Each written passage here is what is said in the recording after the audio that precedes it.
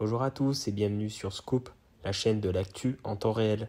N'hésitez pas à liker la vidéo, à vous abonner et à la commenter.